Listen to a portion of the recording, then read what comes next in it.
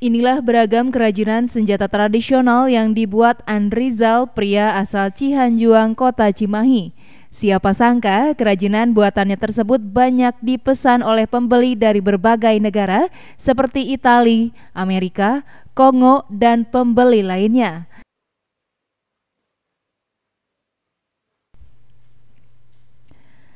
Kerajinan yang diberi label pisau Krakatau tersebut terdiri dari jenis pisau-pisauan, kapak tomahawk, belati, kari Sumatera Barat, dan senjata tradisional lainnya.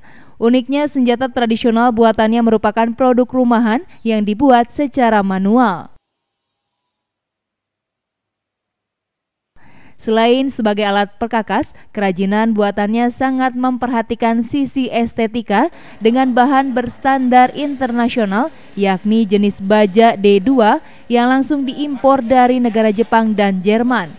Untuk satu unit senjata tradisional, ia bandrol dengan harga mulai dari Rp350.000 hingga 5 juta rupiah.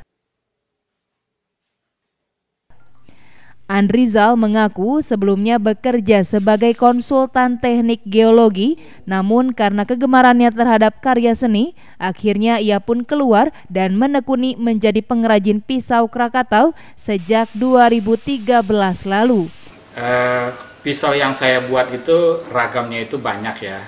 Ada yang uh, tipe apa bentuk-bentuk skinner, ada bentuk bowie, uh, yang yang kebanyakan kayak bowie itu untuk hunting terus uh, bushcraft gitu ya. Uh, kemudian ada juga kalau yang bentuk tradisional seperti karambit ada kujang kemudian saya juga uh, bikin juga yang bentuk-bentuk keris tapi keris-keris yang uh, bentuknya itu modern gitu Kini dari hasil usahanya tersebut, Andrizal telah mampu memproduksi sekitar 30 hingga 50 jenis senjata tradisional dalam sebulan dengan omset sekitar 30 juta hingga 50 juta rupiah.